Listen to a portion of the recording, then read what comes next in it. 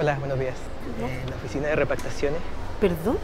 La oficina de repactaciones, la de las cuotas, para reprogramar. Ah, usted está atrasado con sus. Yo sabía que iba a ser un cacho préstamo. No me figura que usted haya realizado los pagos. Acá me figura que usted tiene una, dos, tres prórrogas. Eh, quería ver la posibilidad de hacer una prórroga más.